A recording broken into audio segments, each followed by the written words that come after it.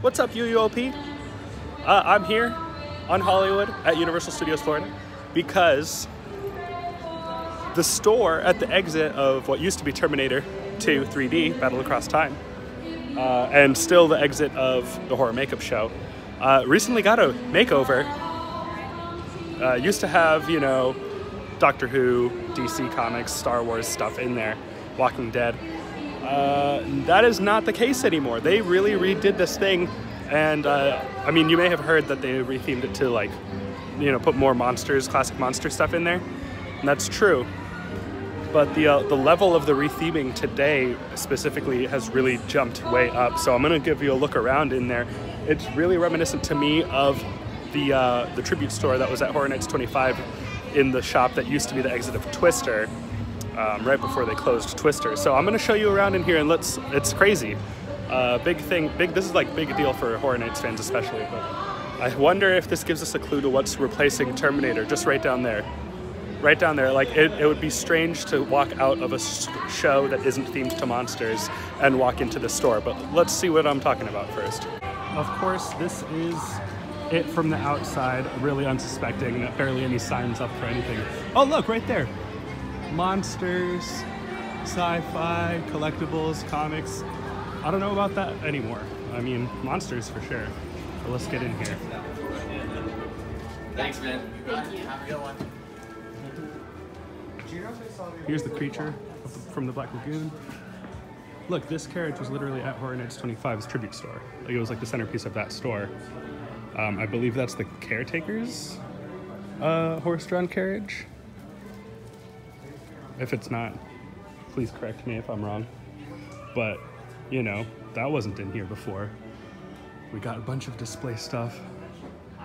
This whole store is totally re-themed, redecorated to be a like monster museum.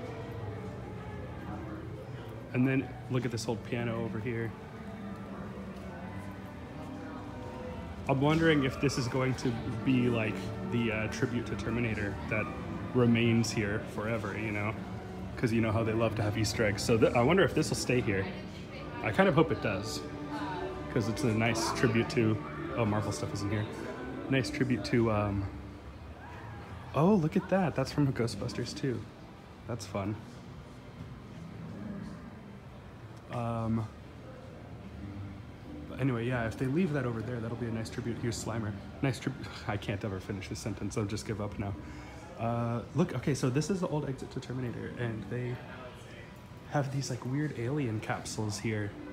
Imagine if this is like Jason Bourne or uh, Pitch Perfect, or I don't know, any other Universal movie that could potentially have a live show.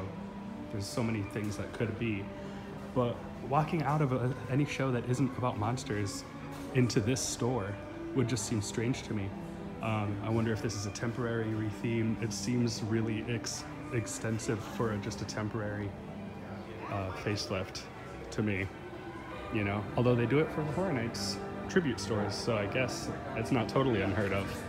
But this is really fascinating to me. So yeah, that's what's going on in here. Interesting stuff.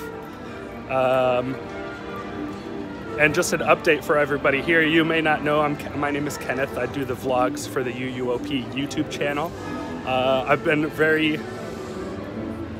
sparse with doing those lately, but I'm going to try to start doing them like once a month.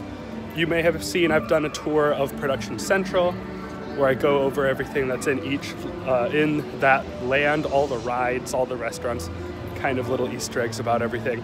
And I want to do one of those for every every area of both parks, um, and maybe even one for Volcano Bay. Who knows? But yeah, I'm gonna try to have my face on here a little bit more often. So that's uh, that's the plan. And of course, new ride reviews and everything. I, I did one for Fast and Furious, and those will always be top priority, like emergency status. Get those done. So anyway, that's it for this video. I just wanted to show you that update of the store because that's crazy uh, that they just did that and like with no announcement or, or anything. It's just like, oh, here's this monster store. It's weird.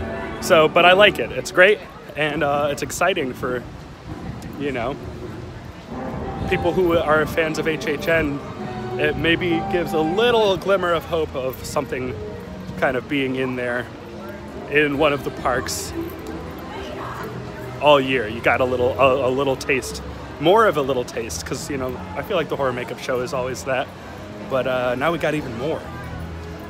So I think that's cool. That's gonna do it for me this time. I'll see you guys later. Have fun.